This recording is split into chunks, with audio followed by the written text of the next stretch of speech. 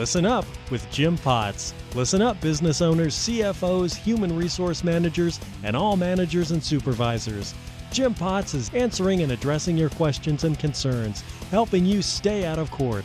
Furthermore, please be advised that Jim's answers are not legal advice and are only intended as a guide based on his years of experience. The phone lines are open 1 855 4 J Potts. That's 1 855 457 6887.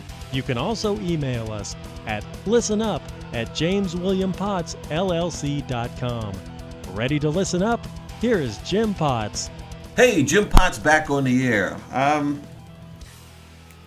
I want to take a moment to. Uh, I reached out last episode to the California legislators, and I, I got some positive emails back about that. So I appreciate the support that's out there because the general feeling is that is that they are choking the life out of employers. So um, I'm glad that people are are agreeing about that. Of course, those are probably employers that are agreeing about it, not necessarily employees, um, because a lot of these things are for the benefit of, of the employees. And I never want to have anybody misunderstand my attitude toward employees. I think that uh, as a you know businesses are nothing without their employees. So I think it's good to have a nice, healthy um, environment for employees. I think employers need to abide by the laws. The work that I do is to help employers make sure that they are following the law, and that way they have a healthy work environment, and quite frankly, they don't have to worry about getting sued. So it's really kind of a you know of a, of a, a dual situation. Um, so at any rate, with that in mind, I want to move on. Look, I want to talk today about preventing workplace violence preventing workplace violence. There is a lot that's going on right now. I've been asked to speak on some different things. I've been speaking on um, the impact of domestic terrorism on the work environment. Um, we, we, there's some things that employers can do, in my opinion, uh, regarding preventing this workplace environment. So I've kind of narrowed it down to about mm, about five different areas.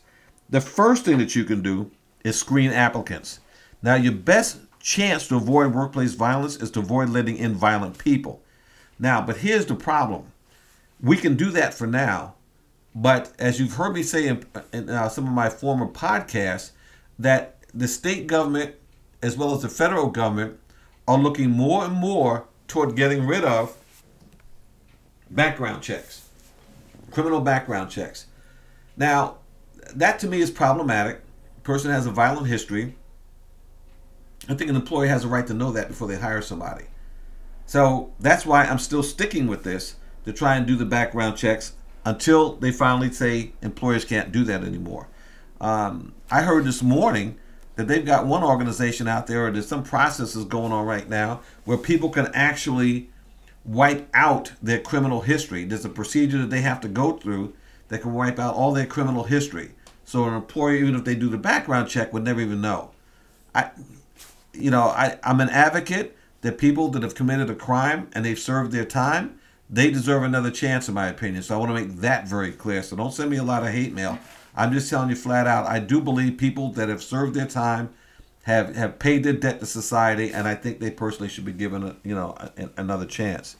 Now, you know when you know in terms of screening your applicants, you can still ask app- applicants for personal as well as professional references and you can assist on face-to-face interviews so managers can gauge an, app, an applicant's temperament. So never leave that out. Some people are just hiring people sometimes, but get that face-to-face thing going so you can see the person's uh, temperament. You know, hopefully, um, if they've got a, you know, kind of a bad behavior, you would be able to uh, see through that. So use experienced people to do the interviews. All right.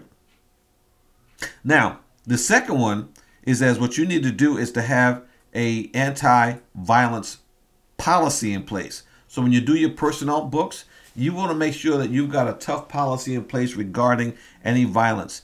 It's got to stand on its own, not part of some other general policy on professional behavior or misuse of, uh, of office equipment. You've got to have it where you have a strict policy, a zero tolerance policy regarding any kind of violence in the workplace. Look, you have guys uh, who actually get into we get these calls uh, where people guys get into this the, these fist fights you know they get into arguments with people on, that work on a commission basis um, it's a dog eat dog you know highly competitive situation and you got guys that are throwing punches it's not just in sales it's in other areas as well where you know, they just get mad at each other and they start throwing punches. I don't know that I've ever heard of two women in a work environment actually throwing punches. Uh, the women tend to uh, shun people, uh, you know, have them, you know, being uh, kept separately from the other ones. You know, now that's called bullying, by the way. But it's normally with the guys. Now, the other way that the zero tolerance policy has to be enforced is by the manager. So the manager can't have a concession that just because he likes one person and doesn't like the other person, that it's okay, and therefore he'll let that person stay and get rid of the other person. Look, you need to do your due diligence on your investigation.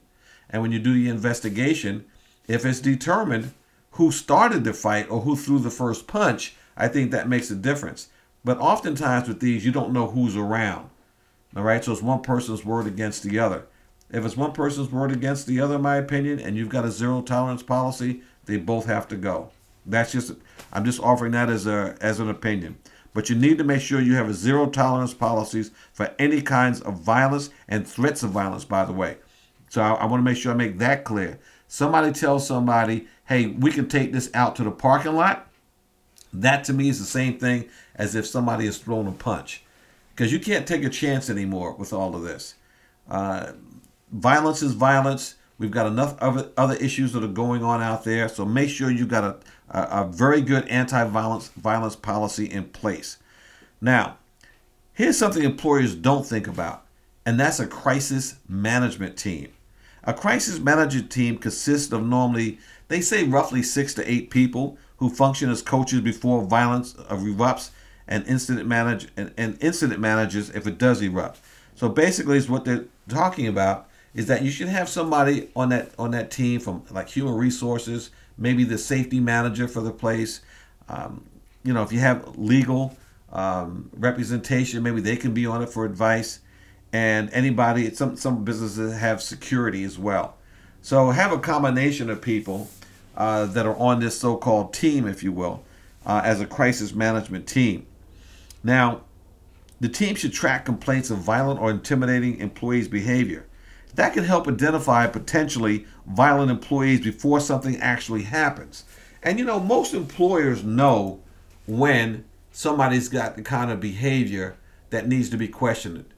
And you know, if they know that somebody is that way, then you know they need to keep an eye on them and have the conversation. And by the way, before I forget, I get calls sometimes where employers have fired somebody for fighting and then two years later, I got a call like this about six months ago.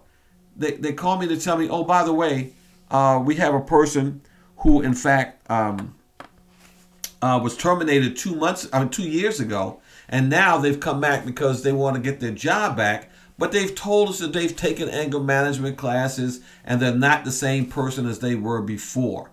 And, you know, should we hire them or not hire them? Well, look, if they've got a past history, in my opinion, in your work environment, I would be careful about hiring somebody under those circumstances. Only because if something does happen, I'm going to tell you that that could subject you now to negligent hiring and the whoever gets hit or whatever the case may be in your work environment, that person's attorney can come back and say, "You know what? You knew this person was dangerous because you fired them before for the same thing. And what steps did you take to ensure that they're not the same person that they were before?" You're not going to know that. You're not going to know that. So then you're in a situation now where it's negligent hiring, and now you've got a lawsuit on your hand. On your hand. So in my opinion, um, they get one bite of the apple. If they in fact engage in that behavior, I would I would strongly suggest that you not you know rehire them. The fourth area that we need to discuss is that you've got to train your frontline supervisors and managers, and if you've got a, like a receptionist you know, people that greet people when they come in uh, to the facility. Now, because I'm going to tell you something, these people are going to be your eyes and your ears. Okay, they're going to be on your early warning system. They're going to be the ones that are going to see some kind of strange behavior, and they're going to have to make take whatever procedures you have in place to let somebody know something's going on. And I'll tell you, you have domestic violence uh, and violence in the workplace because of uh, ex-wives, ex-husbands, uh, you know, upset boyfriends, upset girlfriends, etc. You know, if somebody comes in there and they say, "Hey, listen, you know, my ex has been looking for me. Um, he's a very violent person," and you know, that person can bring a picture in and give it to the person at the front desk. So if that person appears, you know, you don't have it sitting on top of the desk. The person can have it, you know, under the, the little podium style desk that some of them have at the front area there with a picture there. So when a person comes in, they recognize the person. That's just a very simple way to do it that could work for you. But they need to train their frontline supervisors and greeters to make sure uh, what the procedures to be uh, should be in the event that they see somebody that, that looks uh, somewhat uh, suspicious. Now, the other thing that you could do, publicize your anti-violence program. Use meetings, newsletters, email, and the internet to get the word out that your organization has a zero tolerance policy on the workplace violence. And be sure everyone knows how to contact the crisis management team and when to call 911. We don't want people running off in a panic. And every time somebody thinks somebody looks suspicious, they're dialing 911. And you've got the um, the local police department, you know, coming over there with lights flaring and blailing and the and the siren going off. Uh, you don't want that, all right? So it's what you need to do is have a crisis team, but you put the word out that we have a zero tolerance policy and make sure you enforce the policy and the word will get out. When the word gets out, it may help you have less issues. All right? So let's go let's go with that. Um, and if you try that, hopefully it's going to work for you. At least it's a step in the right direction. All right, with that last comment, it's time to close out this segment. And let me remind you that you can hear us on Facebook at, at Listen Up and subscribe to us on iTunes. Just look for Listen Up with Jim Potts. And as a reminder, we take calls every third Friday. We can be between 9:45 and 11, and you, we can be reached at 855-4J Potts or 855-457-6887. Or you can email us at listenup at jameswilliampottsllc.com. Okay, I'm Jim Potts. I will continue to fight the fight, and thank you very much for listening. Thank you for being a part of Listen Up with Jim Potts. We take your calls every third Friday at 10 a.m. Pacific Standard Time for your questions and concerns. Call us at 1 855 4J Potts. That's 1 855 the number 4 J Potts. Again, that's every third Friday at 10 a.m. Pacific Standard Time at 1 855 4J Potts like us on Facebook, subscribe to us on iTunes, and link up with us on LinkedIn. You can also email us at listenup at jameswilliampottsllc.com. Until next time, make it a great week.